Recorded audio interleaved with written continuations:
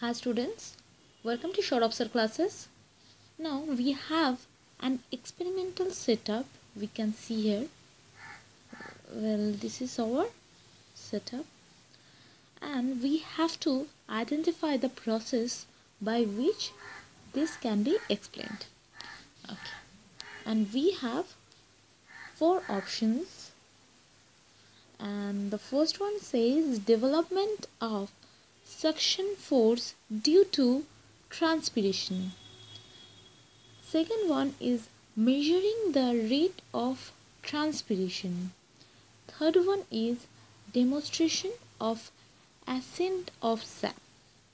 And the fourth one is demonstration of anaerobic respiration.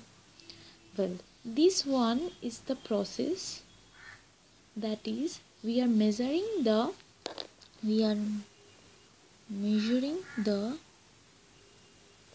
rate of rate of transpiration. Transpiration. So for further explain i would like to insert a page. Okay. So in this process when water is lost water is lost then what's happening? That the process of transpiration that okay this is the process of transpiration so i'm just writing it in this way let me use the eraser and okay. So this is the process of transpiration. Transpiration. I already told you that to measure the rate of transpiration. Okay. So now when by this process water is lost water that is is lost from leaves from leaves then what is happening in the next step that is if this is step 1 in the step 2 that the glass tube absorbed and the glass tube is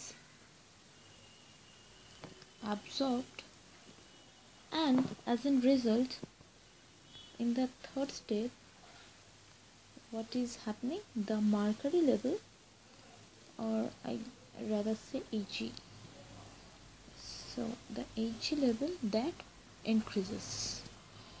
So water is lost by this process from leaves. Then the water from glass tube that is absorbed. I must write here water H2 that is from glass tube that is absorbed. And in the next step this Ag that is rises or increases so this is all about the transpiration in short.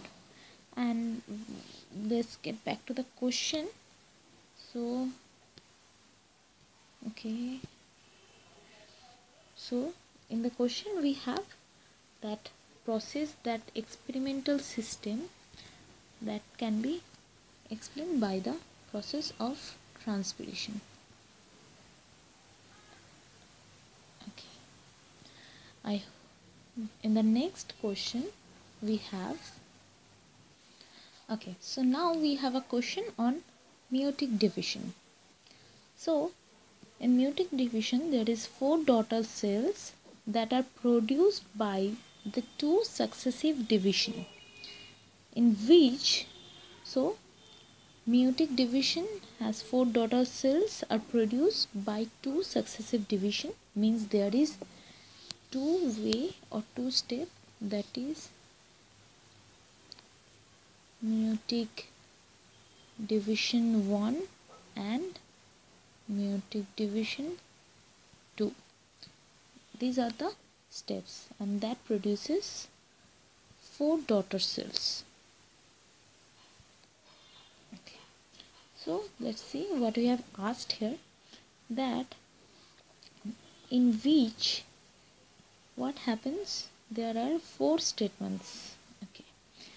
First one is first division is reductional and the second division is equational. Okay. And the next one first division is equational and second division is reductional. Okay. This is just the opposite. See this one was first division was reductional and second was equational and here the first division is equational and the second one is reductional okay fine. So in the third option what we have let's see that the both divisions are equational. And in the option D both division are reductional okay. So first let me draw this for you I'm just changing my pen color. Okay. Suppose this is the cell that is 2n in number. In case of human that is 46 yeah. Okay. Whatever.